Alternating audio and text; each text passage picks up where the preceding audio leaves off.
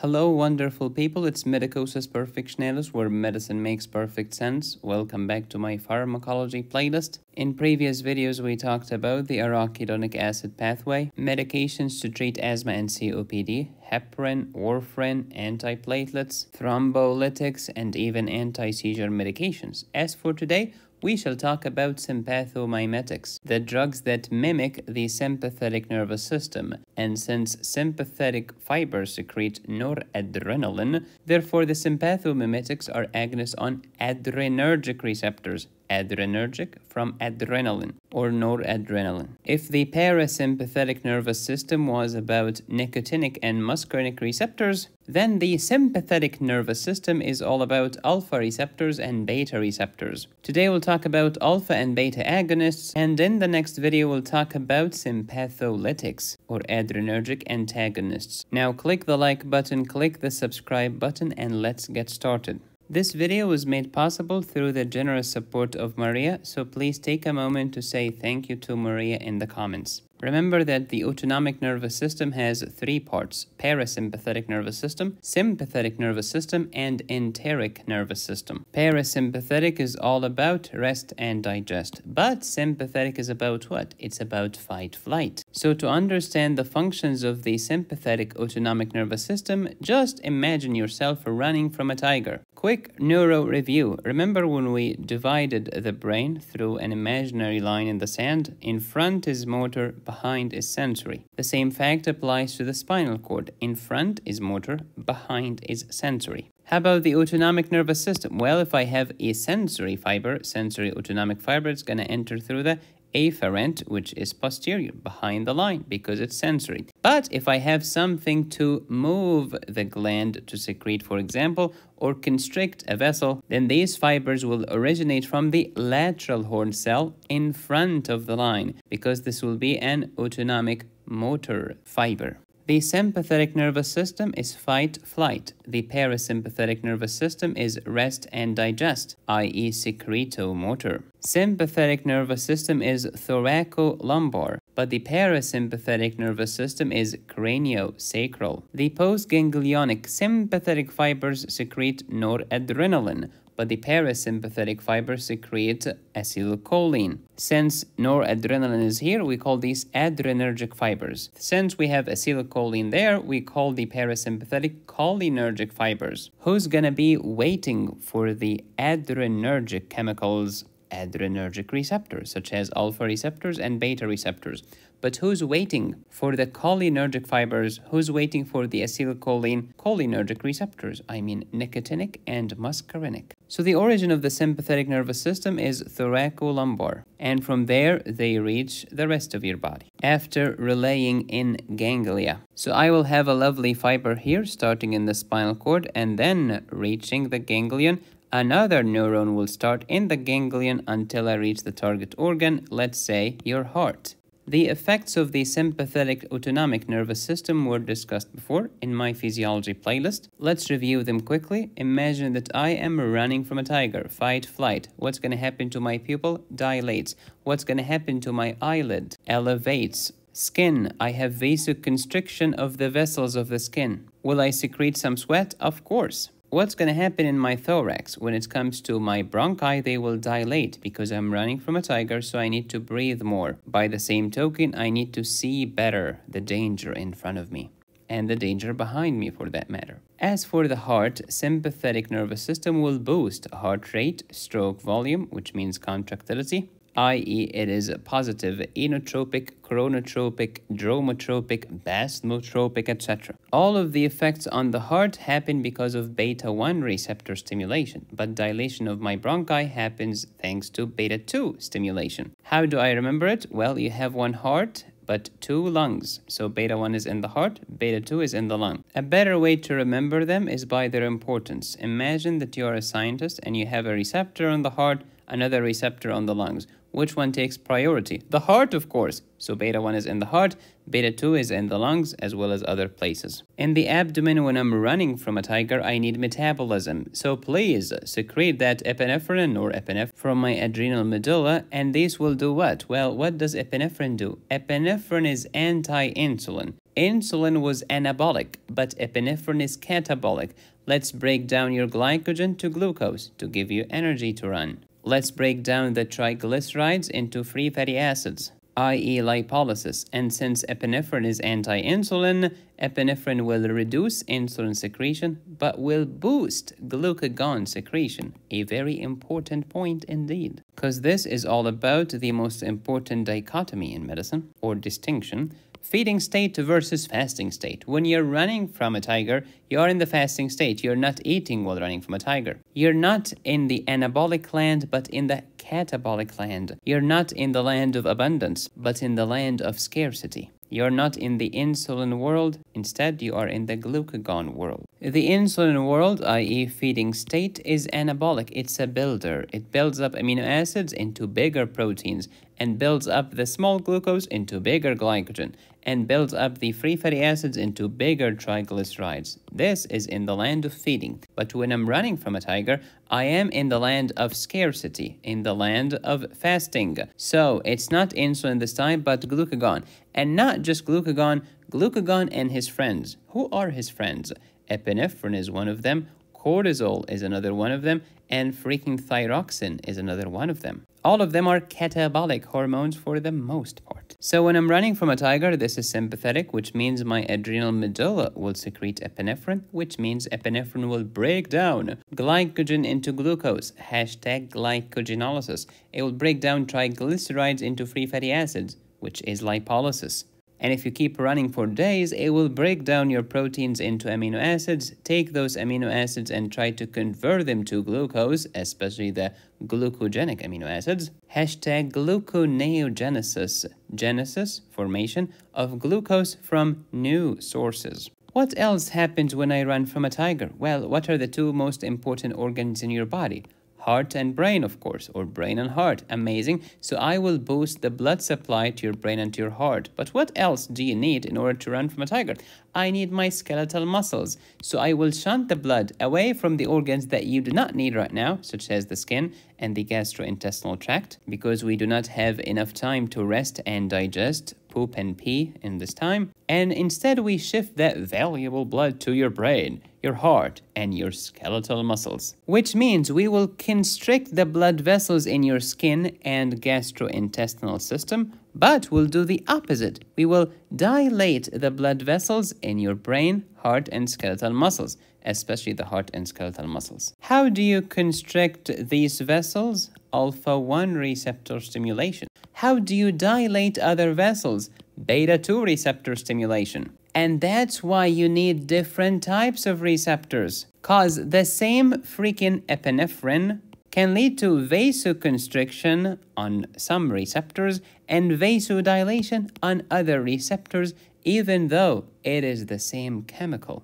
That's why you need receptors, something that your great professor will never tell you. The same concept applies to the bladder. The sympathetic nervous system dilates my urinary bladder because I do not have time to urinate when I'm running from a tiger. It will be embarrassing to say the least, if not time consuming and life threatening. So I will dilate the bladder wall. Amazing. And then what? What's going to happen after you dilate the bladder wall? I will do the opposite to the sphincter. I will constrict my urethral sphincter. Oh, how do you dilate something and constrict something? Well, because the bladder has beta receptors, but the sphincters have alpha receptor. Oh, I get it. See, medicine makes so much sense once you understand what the French toast you're talking about. Remember that the output of the heart or cardiac output equals to how fast the heart is pumping times how strong the heart is pumping. Heart rate means how many beats per minute. Stroke volume means how much volume per stroke. When you multiply them together, you get how much volume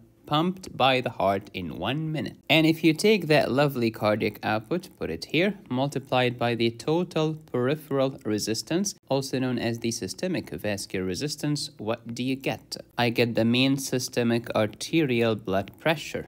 Today, we're talking about sympathomimetics. Some of them will increase heart rate and or stroke volume. And what's going to happen when you increase heart rate and stroke volume? You increase the cardiac output.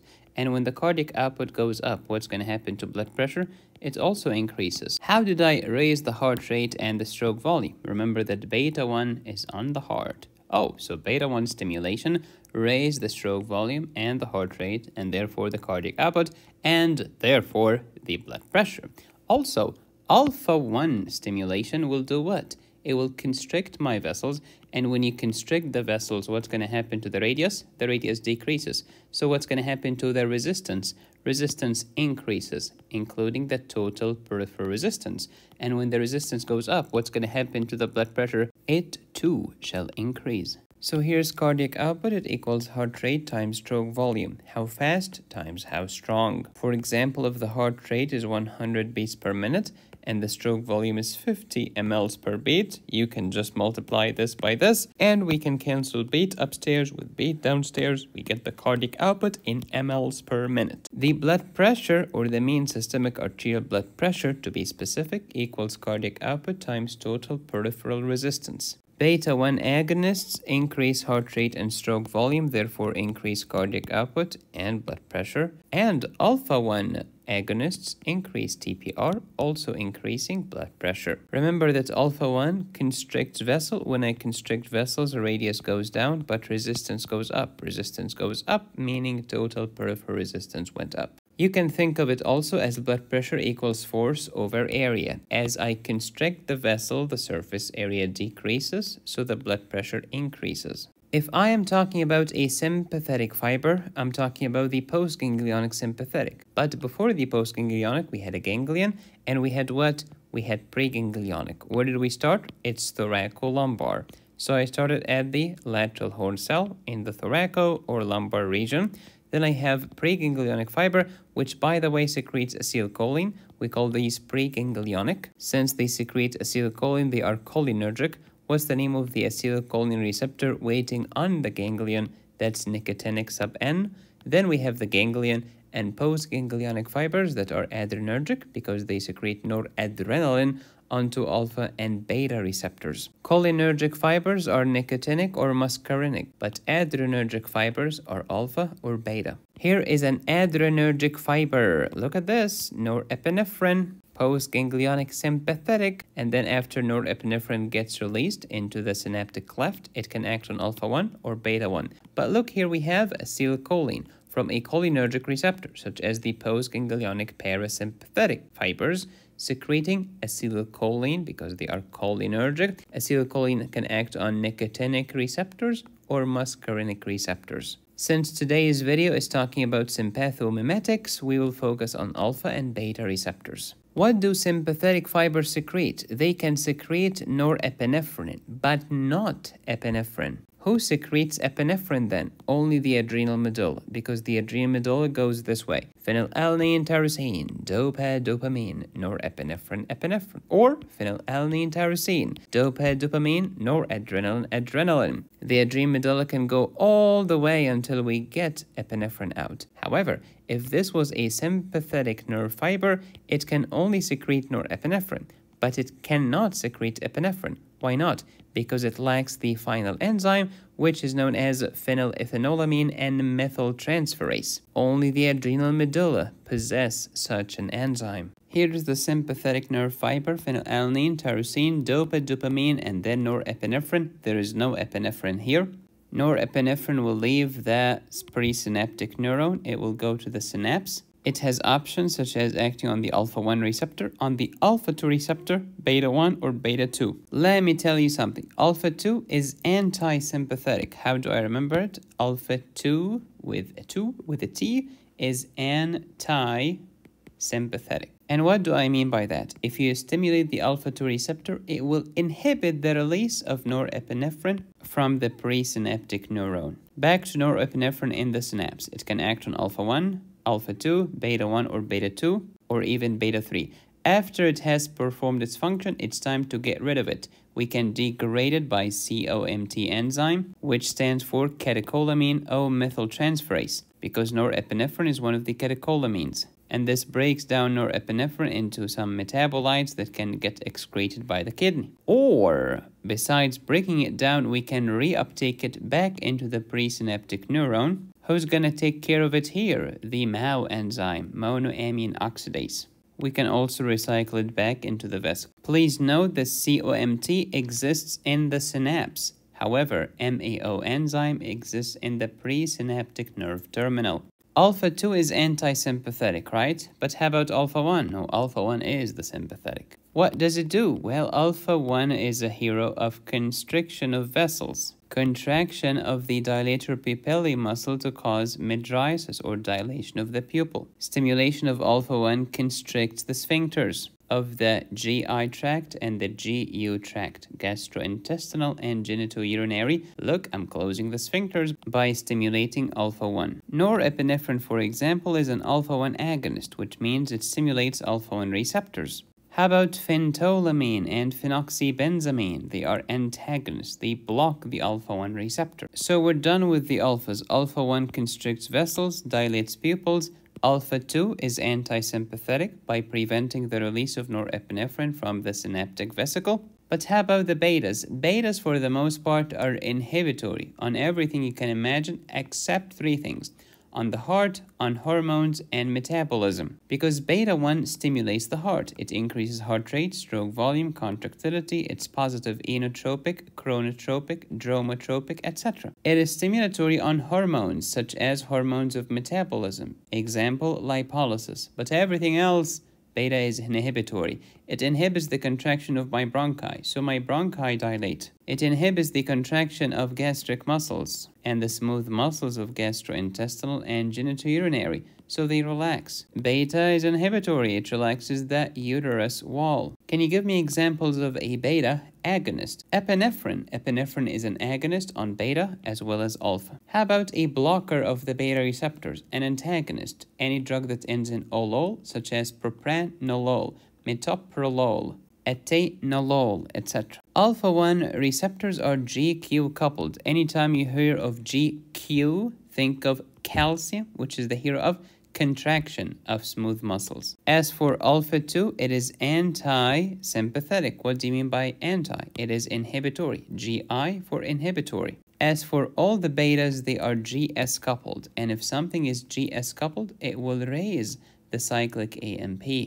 What happens when I run from a tiger? Glycogen gets broken down to glucose. Alpha-1 can help me with this glycogenolysis. I break down triglycerides into free fatty acids. Beta, especially beta-3, can help me with this process. I'm gonna dilate my bronchi, which will help me breathe. I'm gonna increase all of my cardiac properties so that I can provide my body with energy while running from a tiger. The sympathetic nervous system constricts almost all of the vessels, except the vessels going to your skeletal muscles, the vessels going to your heart. What does alpha-1 do? Alpha-1 constricts. Remember, alpha-1 is GQ coupled, and GQ means calcium, which is the hero of contraction of smooth muscles. So I'm going to contract the smooth muscles in the pupil, especially the dilator pupillae muscle to dilate the pupil. I'm going to contract the smooth muscles in the vessels, and by vessels I mean arteries and veins. When I constrict those arterioles, I raise the afterload, which raises the diastolic blood pressure. When I constrict those arterioles, I raise the total peripheral resistance or systemic vascular resistance. So overall, the mean systemic blood pressure goes up. How about constricting veins? When I constrict veins, I increase the venous return back to the heart. This is the right side of the heart. I have right atrium here, right ventricle there, and I have left atrium here, left ventricle there. Remember that the right atrium is connected to superior vena cava and inferior vena cava by constricting veins, what's going to happen? You're increasing the venous return because you're squeezing them into the right atrium. And this increases venous return, which increases preload, which increases systolic blood pressure because when there is more input to the heart, there will be more output from the heart. Stroke volume goes up and cardiac output goes up. Anytime you constrict veins, what's going to happen to the capacitance of the vein? Well, the capacitance decreases because I'm constricting them and they are emptying their blood into the right atrium. Alpha-1 stimulation tends to reduce renin release from the kidney. Conversely, beta-1 stimulation tends to boost renin release. Alpha-1 decreases renin release, but beta-1 stimulation raises renin release. So what does renin do? Renin is a hormone secreted by the kidney. It's also an enzyme that converts angiotensinogen to angiotensin 1. Angiotensin 1 will be converted to angiotensin 2 thanks to ACE enzyme in the lungs usually. Angiotensin 2 has two functions. Function number one, to vasoconstrict the arterioles and raise the blood pressure. Function number two is to tell the zona glomerulosa of the adrenal cortex to make aldosterone. Aldosterone will reabsorb two things and secrete two things. It will reabsorb sodium and water, but secrete potassium and hydrogen. When you reabsorb sodium and water, you're more likely to raise the blood pressure. So angiotensin 2 had two functions, to constrict the arterioles which raises blood pressure, and to secrete aldosterone, which also can raise the blood pressure. Why do you call it angiotensin? Because I tense the angio, I constrict the vessels. Alpha 1 tends to decrease renin, but beta 1 tends to increase renin. How about alpha 2? Alpha 2 is anti-sympathetic, which means if you stimulate this presynaptic alpha 2, what's going to happen? You will release less norepinephrine to the synapse. Remember that the sympathetic nervous system is fight-flight. This is the adrenergic system. It's the land of epinephrine or epinephrine. Don't forget that epinephrine, which is catabolic, is anti-insulin, which is anabolic, which makes sense because alpha-2 stimulation decreases insulin release from the pancreas. So we talked about alpha-1 and alpha-2. Let's talk about the betas. Beta 1, remember your heart. It increases all of the cardiac properties. Positive chronotropic, inotropic, dromotropic. By chronotropic, I mean it increases heart rate. By positive inotropic, I mean it increases contractility. When you contract harder, you pump out more volume, so stroke volume goes up. When stroke volume goes up, cardiac output goes up. When cardiac output goes up, the systolic blood pressure goes up. Beta 1 also increases renin release from the kidney. Beta 1 increases aqueous humor secretion in the eye. And how about beta 2? Remember, you have two lungs, okay? So it's going to dilate the bronchi. Beta 2 is inhibitory. It relaxes muscle. It relaxes the smooth muscles in my bronchi. It relaxes the smooth muscles of the uterus. And this is called a tocolytic effect. Toco means contraction. Lysis means breakdown. When you break down contractions, you're causing relaxation. When I vasodilate, what's going to happen to the radius of the vessel? It increases, which means what's going to happen to the resistance? It decreases. So the afterload goes down and the diastolic blood pressure tends to decrease and the overall mean systemic blood pressure tends to decrease. Beta 2 do something important which is they boost the uptake of potassium into the muscle. So here is the muscle and this is the blood vessel. Under beta 2 stimulation, the potassium will leave the blood and go into the cell, such as the muscle cell. Too much beta 2 stimulation can lead to hypokalemia. Beta 2 is important also for metabolism, such as gluconeogenesis and glycogenolysis. How about beta 3? Oh, that's the land of lipolysis. Break down the triglyceride into free fatty acids and glycerol. And beta 3 is also present in the urinary bladder, Arguably, it relaxes the wall of the bladder. There is something important that we need to mention, which is the baroreceptor reflex. Let's suppose that for whatever reason my blood pressure drops. When my blood pressure drops, the baroreceptors, which are the receptors that sense the change in pressure, will sense the hypotension. And they will tell the brain, hey brain, we have a disaster outside. There is low blood pressure, so the brain will sense the danger and will send the sympathetic. It's fight, flight. It's a dangerous situation. I have hypotension. So I send sympathetic fibers to do what? To release norepinephrine from the nerve fibers. What does norepinephrine do to the heart? It stimulates beta 1. And when you stimulate beta 1, what's going to happen to heart rate? It increases. Stroke volume also increases. That's it? You're only stimulating beta 1? No. As norepinephrine, I can also stimulate alpha 1. So I constrict veins and arteries. When I constrict veins, I increase venous return to the heart. And when I constrict arterioles, I increase the systemic blood pressure. So by increasing heart rate and contractility and increasing venous return and increasing systemic blood pressure, I am trying to raise the blood pressure back to normal. So the moral of the story is hypotension usually causes reflex tachycardia. Conversely, what if I start with hypertension? The opposite will happen. The brain will sense the high pressure and will send the opposite. It will send parasympathetic, the vagus nerve, to do what? To do the opposite. I want to decrease heart rate and decrease contractility so that I can bring the blood pressure down and back to normal. So the moral of the story is hypertension can lead to reflex bradycardia. So hypotension causes reflex tachycardia, but hypertension causes reflex bradycardia.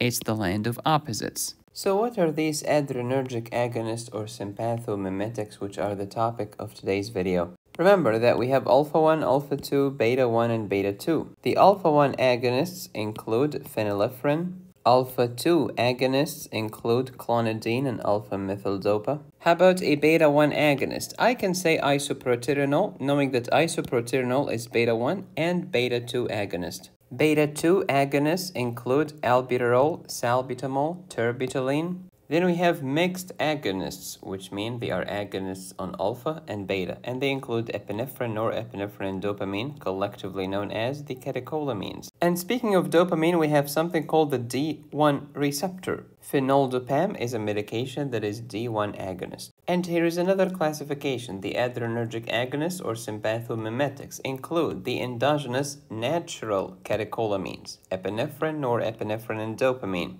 How about catecholamines that are not made in the body? Synthetic catecholamines include isoproterenol and dobutamine. Then we have synthetic non-catecholamines. We have direct acting and indirect acting. Direct acting synthetic non-catecholamines include phenylephrine, methoxamine, albuterol, terbutaline. And for alpha-2, we have clonidine and alpha-methyl-dopa. I put them together here because they are alpha-2 and because alpha-2 is anti-sympathetic. Indirect acting meaning they will boost the availability of norepinephrine in the synaptic cleft. They include ephedrine, amphetamine, mephenteramine, metaraminol, cocaine, and tricyclic antidepressants. Here is my presynaptic terminal containing norepinephrine. Here's the synaptic cleft, and here's the postsynaptic neuron. What do we have here? Norepinephrine, making this an adrenergic fiber. Look at my adrenergic fiber, amazing. Now what? I can block the transport into the vesicle, such as reserpine. If I cannot put norepinephrine into the vesicle, I cannot release norepinephrine from the vesicle later. How about I boost the release of norepinephrine, i.e. I'm a releaser. That's the story of amphetamines, tyramine, and ephedrine. How about inhibiting the release, which is the opposite of releaser? Release inhibitors include guanethidine and bretylium. Then norepinephrine is secreted. It can act on alpha-1, which is GQ coupled, meaning it's going to increase the calcium and contract smooth muscles. Or norepinephrine can act on beta receptors. They are GS coupled and they will raise the cyclic AMP.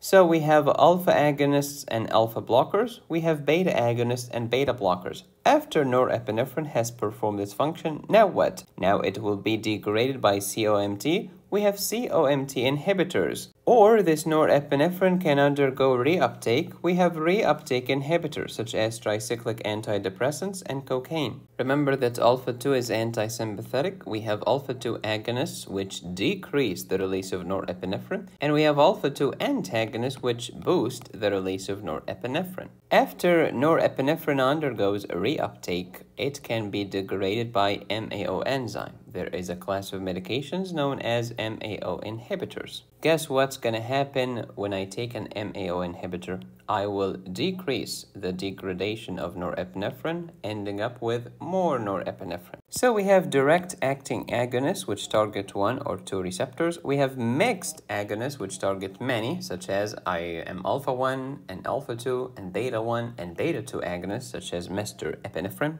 Indirect acting, the releasers, the enzyme inhibitors, and the reuptake inhibitors. Some examples of alpha-1 agonists include phenylephrine, metaraminol, mephenteramine, and midodrine. And we shall not forget methoxamine. As for alpha-2 agonists, we have clonidine, methyldopa, guanfacine, dexmedetomide, and others. How about beta agonists? I have isoproterenol, beta 1 and beta 2. I have albuterol, which is beta 2. Terbutaline, also beta 2. Dobutamine, formoterol, salmoterol, and metaproterenol. Just like we have isoproterenol, we have metaproterenol too. So this is how I remember them. Isoproterenol with metaproterenol. Okay, we're good. Now what? Dobutamine, not to be confused with dopamine. We're good. Now what?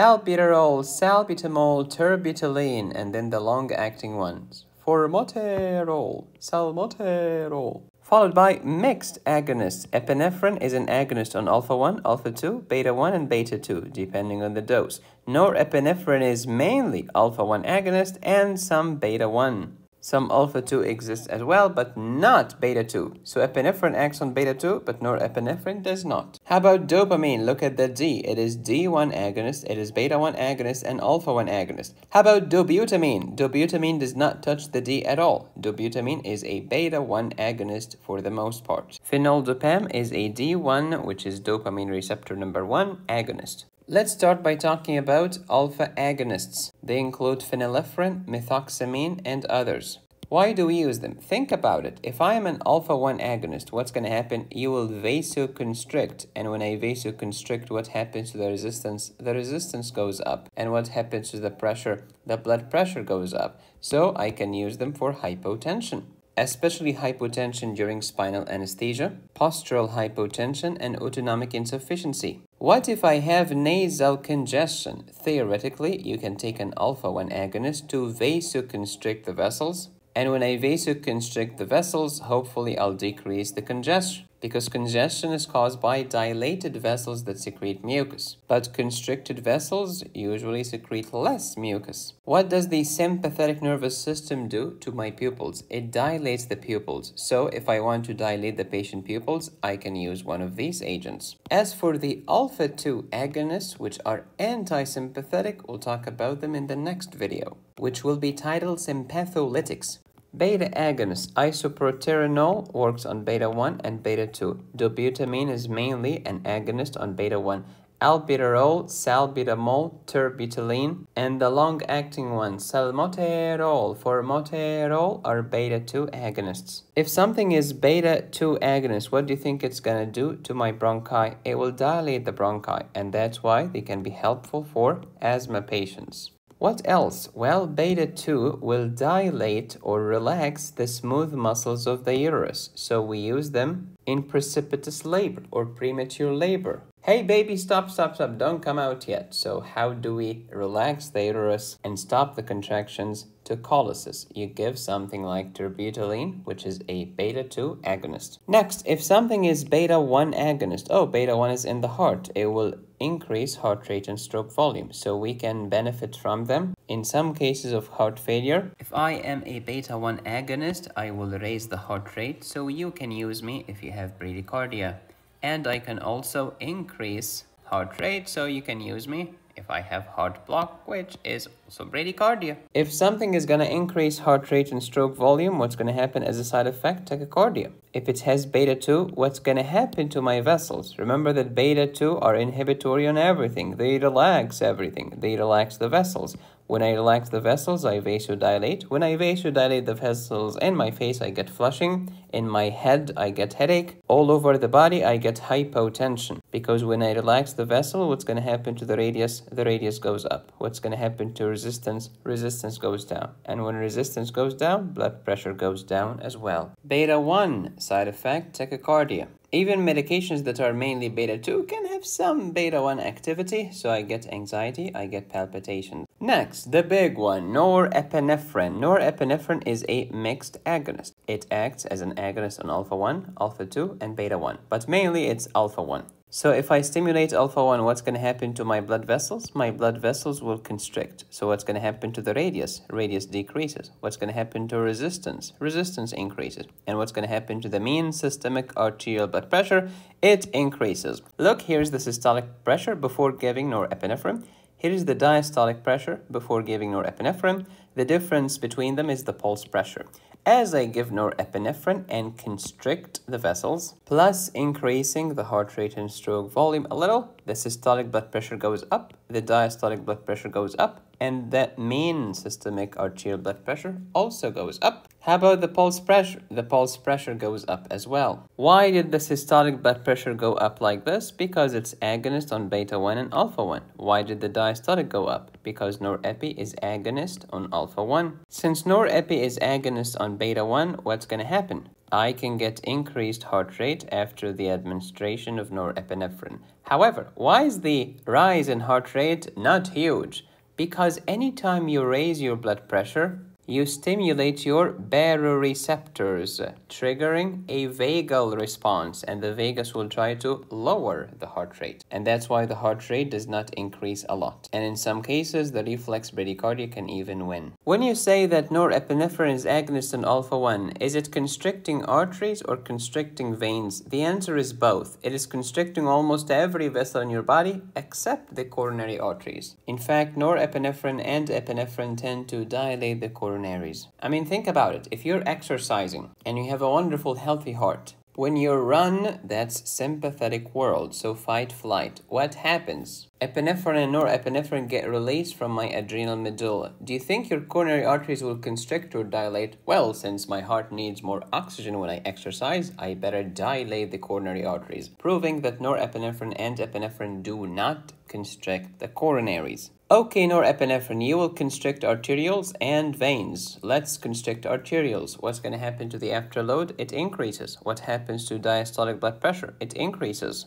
What happens to the total peripheral resistance? It also increases. Anytime you raise the blood pressure, you might trigger a baroreceptor reflex. And when you constrict veins, what's going to happen? More venous return will return to the right side of the heart. So, what's going to happen to preload? Preload goes up and diastolic volume goes up and therefore there'll be more volume in the heart to pump more. So systolic blood pressure goes up. Anytime you constrict veins, what happens to their compliance? Well, since compliance is similar to distensibility or extensibility or capacitance, the moment I constrict my veins, I decrease the compliance, I decrease expansibility, I decrease distensibility, and I decrease the capacitance of the veins. What is compliance again?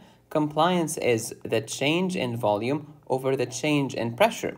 When I constrict my venules, the volume decreases. When the volume decreases, the compliance decreases. All of this was the effect of norepinephrine alpha 1, which predominates at higher dose. But what's the effect of norepinephrine on beta 1? It increases inotropy, dromotropy, chronotropy. It increases contractility and therefore stroke volume and therefore raises the systolic blood pressure. It increases the conduction velocity and it increases heart rate. Please note that we use norepinephrine to treat hypotension because as you see it raises the blood pressure. We can use norepinephrine after coronary artery bypass graft because usually after coronary artery bypass graft the vessels dilate and the blood pressure drops. To prevent this, we give norepinephrine to raise the total peripheral resistance. What if I have septic shock? Well, septic shock has hypotension. Can we benefit from norepi?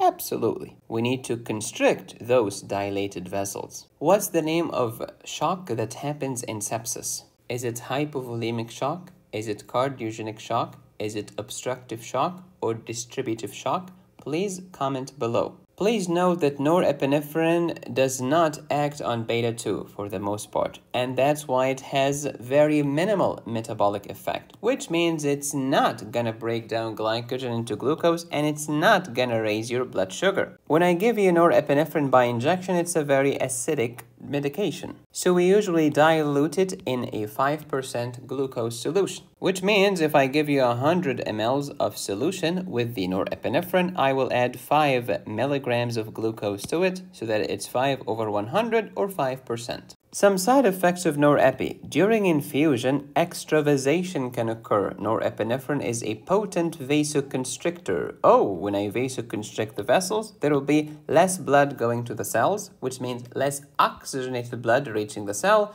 and the cell will die from ischemia, i.e. necrosis. So how should I mitigate this? Try not to inject norepinephrine locally, but to inject it in a big vein through a central venous line, which is connected to the right atrium. Because the right atrium is your central vein, because it connects to the biggest veins in your body the superior vena cava and inferior vena cava, making the right atrium the central vein. That's why we call the pressure in the right atrium central venous pressure. What happens to blood pressure when I give norepi? Blood pressure goes up because I constricted the arterioles. And that's why it's important to monitor the patient. Norepinephrine also constricts veins, increasing the venous return. That's why we should be very careful if I have right ventricular failure, because if the right ventricle fails, i.e. cannot contract, and you overwhelm it with more blood, you will make the matter worse. So you gotta be cautious. Norepinephrine is a constrictor on arteries and veins, so I increase the total peripheral resistance or systemic vascular resistance and the pulmonary vascular resistance, and this will increase the pulmonary artery pressure. Norepi acts on beta 1, raising the heart rate, and this so much constriction can lead to what? Hypoperfusion, organ ischemia, and organ damage. And when the cell is toast without oxygen, it will shift to anaerobic glycolysis anaerobic glycolysis secretes lactic acid, so I develop lactic acidosis, which causes high anion gap metabolic acidosis. How should I mitigate this effect? Well, well, well. If norepinephrine can lead to ischemia and decrease blood supply to the cell, why don't you pump more volume? Oh, I don't get it. Remember that pressure equals force over area. That's true.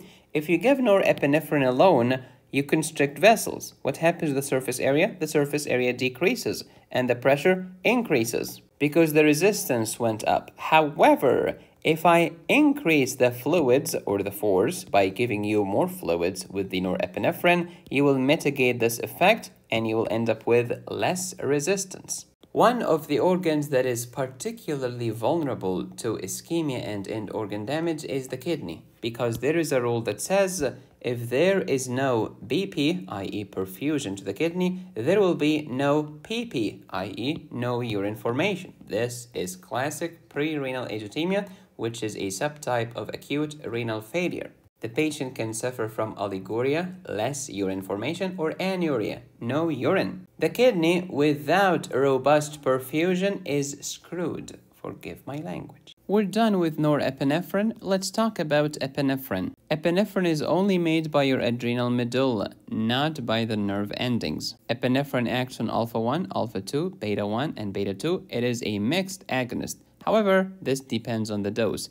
At lower doses, epinephrine acts like isoproterenol, mainly an agonist on beta 1 and beta 2. But at high dose of epinephrine, epinephrine acts like norepinephrine, meaning mainly on alpha 1 and some alpha 2 and beta 1. So epinephrine at low dose, beta 1 agonist and beta 2 agonist. If it's beta 1 agonist, it will increase all of the cardiac properties like heart rate, conduction velocity, and contractility, raising the stroke volume and the systolic blood pressure. Anytime you raise the blood pressure, you will trigger a baroreceptor reflex and get reflex bradycardia. Epinephrine is an agonist in beta 2, dilating my bronchi, improving my asthma symptoms. It also relaxes the uterine muscle wall. And it's not just relaxing the muscles in the uterus and the muscles in the bronchi, but also the smooth muscles in the blood vessel, decreasing the systemic vascular resistance, lowering the afterload, decreasing the diastolic blood pressure, and to a certain extent, it might lower the blood pressure. But norepinephrine did not have any beta 2 function, and that's why norepinephrine can never lower my blood pressure. However, epinephrine can lower my blood pressure. Next, epinephrine acts on beta 2, which is similar to beta 3, so we can get lipolysis or breakdown of lipids into free fatty acids and glycerol. We can break down glycogen into glucose. Hashtag glycogenolysis. So it boosts glycogenolysis and lipolysis. How did it boost glycogenolysis? By stimulating the enzyme phosphorylase. Glycogen phosphorylase breaks down my glycogen. How do you break down the triglycerides? By activating triglyceride lipase and other lipases. At high dose, however, epinephrine is similar to norepinephrine. It acts mainly on alpha-1 and then some alpha-2 and some beta-1. How can we differentiate between epinephrine and norepinephrine? Remember that norepinephrine did not have beta-2 agonism, but epinephrine is a beta-2 agonist. So the way to uncover this is to block the alpha-1. Let's block the alpha-1. So epinephrine now cannot act on alpha-1 and neither can norepi. Okay? Who's gonna remain? The betas? Epi will act on beta-1 and beta-2. Norepi will act only on beta-1. Which means which one of these two is more likely to dilate my vessels and lower my blood pressure? Only epinephrine. But norepinephrine cannot lower my blood pressure. Recall that in the beginning of this lecture, we talked about the fact that epinephrine is similar to glucagon and cortisol and thyroxine, and all of these are anti-insulin. So it makes sense that if you stimulate the sympathetic nervous system, you will inhibit insulin release. I mean, look at this. When I break down glycogen, do you think insulin approves this? No. When I break down fat, does insulin like this? No. One last time, epinephrine at low dose is similar to isoproterenol, meaning it's beta-1 agonist and beta-2 agonist. Epinephrine at an intermediate dose is an alpha-1 agonist and beta-2 agonist. At high dose, it's just like norepi, mainly alpha-1 and some alpha-2 and beta-1. And that's why the effects on hemodynamics will be slightly different. Put differently, beta predominates at lower dose, but alpha predominates at higher doses. What are the clinical uses of epinephrine and norepinephrine?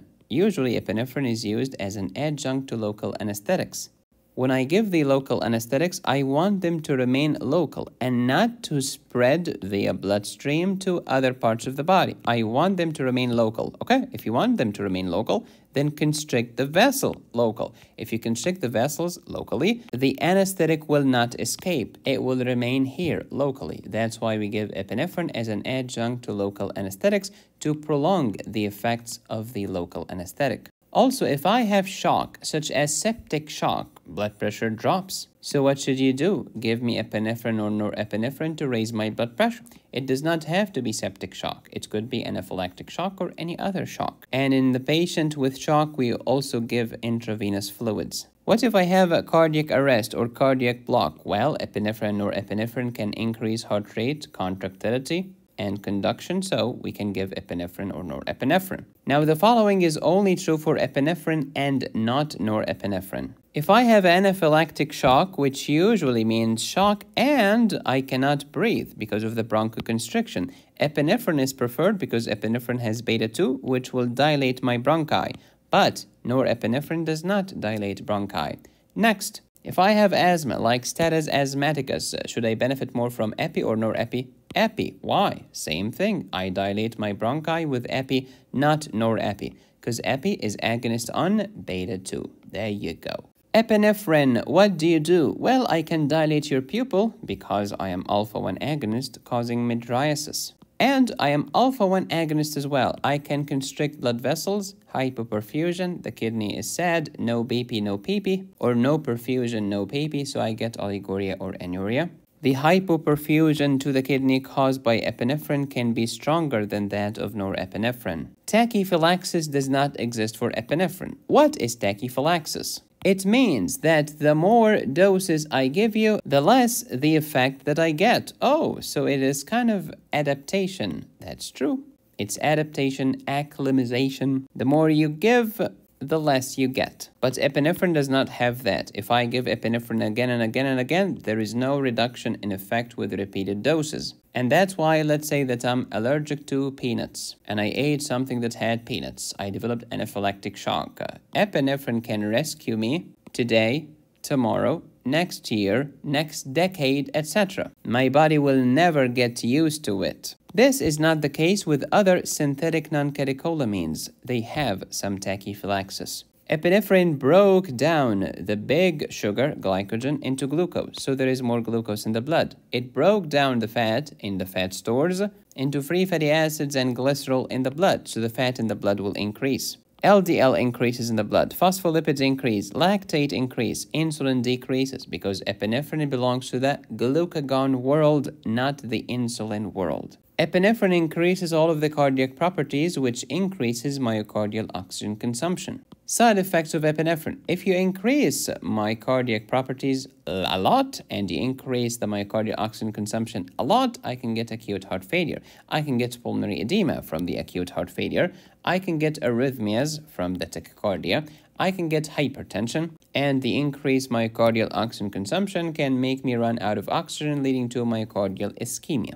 An important pharmacology fact. Remember the normal sodium potassium ATPase? What does it do? Well, it exists in every cell. It pushes sodium out of the cell and pushes potassium into the cell. So normally potassium is going in. If I take a beta agonist, I stimulate the sodium potassium ATPase, so it works harder pushing more sodium to the outside and more potassium to the inside. Lots of potassium is entering the cell, less potassium is left in the blood, I get hypokalemia when I take a beta agonist. Conversely, if I take a beta blocker, I block the sodium potassium ATPase. Sodium will no longer be able to leave and potassium will be no longer able to get in. So all of that potassium will remain outside, causing hyperkalemia. So if I take propranolol, metoprolol, or any other olol, I risk developing hyperkalemia. Beta agonists cause hypokalemia, but beta blockers cause hyperkalemia for the most part. Hey dopamine, what do you do? I act on D1 receptor, which dilates vessel. Remember, D1 dilates. It dilates renal vessels, mesenteric vessels, and coronary vessels. D1 receptors are GS coupled. If you are GS coupled, you will stimulate adenylate cyclase, convert ATP to cyclic AMP, activate protein kinase A, which causes vasodilation of smooth muscles. Everything here is A. Adenylate cyclase, ATP, cyclic AMP, protein kinase A, dilate the smooth muscles. Who else is GS coupled? Remember beta 1, GS coupled, beta 2, GS coupled, beta 3, GS coupled, and D1 is also GS coupled. This was true for dopamine at low dose. Dopamine at medium dose increases all of the cardiac properties because it starts to act on beta 1, which is also GS coupled, increases cyclic AMP. Next, we have high dose of dopamine. It acts on D1, beta 1, and look at this, alpha 1 appears, raising my blood pressure. That's why we can give dopamine to manage a patient in shock with hypotension, and we can give fenoldopam to dilate vessels and lower my blood pressure. Fenoldopam is a D1 agonist. Next, ephedrine. How do you work? Well, direct acting and indirect acting. At the end of the day, I raise norepinephrine. Lots of norepinephrine will act on alpha receptors, raising my blood pressure. Act on beta receptor, raise all of the cardiac properties. Can the monoamine oxidase enzyme present in my gut metabolize ephedrine? The answer is no. So can I give it orally? Yes, I can. Have you ever heard of oral epinephrine? No. How about oral norepinephrine? No. How about oral ephedrine? Yes. It's not metabolized by your gastric or intestinal MAO. Ephedrine has slow inactivation and slow excretion, so it stays longer in your body. It has long duration. Can it lead to hyperglycemia? Not really. Can it cause acidosis? Yes, even more acidosis than the drug that we'll discuss soon, which is phenylephrine, which is alpha-1 agonist. Can it dilate my bronchi? Sure, it is beta agonist. Can it act as a decongestant? Let's try to figure out the mechanism. If it's alpha-1 agonist, it will constrict blood vessels, and if it constricts blood vessels, it decreases congestion. Ephedrine is one of these synthetic homies, so it has tachyphylaxis, which means reduction in effect with repeated doses. Phenylephrine, another synthetic homie, synthetic non-catecholamine, less potent than norepi. Phenylephrine is mainly an alpha-1 agonist, at lower dose, at high dose, expect some alpha-2 agonist. Alpha-1 constricts vessels and raises my blood pressure. Anytime blood pressure goes up, baroreceptor reflex gets triggered to do the opposite, to try to decrease blood pressure by having reflex bradycardia so hypertension and reflex bradycardia. Sometimes during administration of anesthesia or during surgery, the patient's blood pressure drops. Now, can we reverse this? Sure, give phenylephrine. Phenylephrine is alpha-1 agonist. It will raise the blood pressure back to normal. Phenylephrine might be helpful to patients with coronary artery disease because it improves coronary perfusion, just like epi and norepi. You can give phenylephrine with nitric oxide to improve oxygenation. Both of them improve coronary perfusion. And it depends on the vessel because phenylephrine can decrease blood flow to some vessels in the kidney, viscera, and skin, but increase blood flow to vessels in the coronaries and the pulmonary artery. And this is one of the reasons it improves oxygenation. What if I gave too much phenylephrine, which is alpha-1 agonist? How can I resolve this? Give an alpha-1 blocker or an alpha blocker such as phentolamine. In the next video, we'll talk about phentolamine and phenoxybenzamine. Quick review on phosphodiesterase inhibitors, also known as inodilators. Why ino? Because they increase contractility. Why dilators? Because they cause vasodilation. Remember that if something is GQ coupled, such as alpha-1 receptors, GQ equals calcium equals contraction of smooth muscles, so bronchoconstriction, vasoconstriction, constriction of sphincters, contraction of uterus, etc. But beta 1, beta 2, beta 3, D1, and others are GS coupled, which means everything is A. Adenylate cyclase, convert ATP to cyclic AMP, activate protein kinase A to do what? When it comes to cardiac muscles, I'm going to boost contractility. When it comes to smooth muscles, I will relax them. I will dilate them. Vasodilation, bronchodilation, uterus muscle relaxation. Beta 1 on the kidney increases renin, and in the eye increases aqueous humor. So we talked about ATP. ATP by adenylate cyclase with the A will give me cyclic AMP, also A. Alright, cyclic AMP does what? Bronchodilation, vasodilation, and increase cardiac contractility and heart rate. Oh, then after cyclic AMP performs this function, we degrade it into pieces of trash or degradation products. Who degraded cyclic AMP? Phosphodiesterase. And we have many types of phosphodiesterase and many medications that inhibit phosphodiesterase. So let's say that I took theophylline or milrinone or amrinone or any of these phosphodiesterase inhibitors, I'll inhibit phosphodiesterase, raising the cyclic AMP, which will relax my vessels, relax my bronchi, increase heart rate and contractility, depending on the type and the location of the phosphodiesterase. So when I inhibit phosphodiesterase, cyclic AMP goes up because it's not degraded and it will cause bronchodilation and vasodilation. It will increase heart rate and contractility. Here is a phosphodiesterase inhibitor, inhibits the degradation of cyclic AMP, so cyclic AMP increases. So this is similar to beta agonists, because beta agonists also raise cyclic AMP. A phosphodiesterase inhibitor raises cyclic AMP. What's the effect of cyclic AMP on different parts of the body? Well, when it comes to cardiac muscles, I increase cardiac contractility. But when it comes to smooth muscles, I decrease their contraction. I dilate vessels, I dilate bronchi. When cyclic AMP increases, platelet aggregation decreases. It's also anti-inflammatory, decreases your triglycerides, and increases your HDL, the so-called good cholesterol. Cyclic AMP is doozy. Think that you're running on a treadmill. Your heart is increasing its contractility, but your vessels are dilating to perfuse the heart by dilating the coronary and to perfuse the skeletal muscles. Next, quick review of nitric oxide. What does nitric oxide do? It activates guanylate cyclase, not adenylate cyclase. Everything here is G instead of A.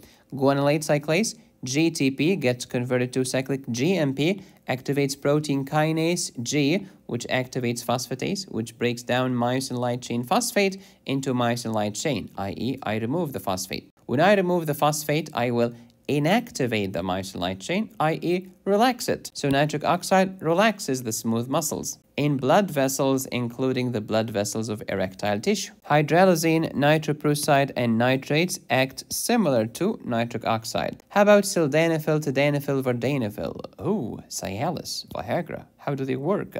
They inhibit phosphodiesterase 5, decreasing the degradation of cyclic GMP. So I'll have more cyclic GMP and more dilation, more relaxation of smooth muscles, which means more dilation and more erection. And that's why it will be a disaster to take one of these medications with one of these medications. Because if I take them together, I dilate too much. And when I dilate too much, what's going to happen to the radius? Radius goes up, resistance goes down, blood pressure goes down, and I can die from severe hypotension. Never ever combine a nitrate with a sildenafil. Can we take a moment to admire all the medications that can raise cyclic AMP? Sure. How about the phosphodiesterase inhibitors? They can do it. Sildenafil, tadalafil, vardenafil, amrinone, milrinone, inamrinone, theophylline, xanthine, caffeine, cilostazol, dipyridamole. All of them can do it. How about norepinephrine and epinephrine? They are beta-1 agonist and beta-1 is GS coupled, which means it's going to raise uh, cyclic AMP.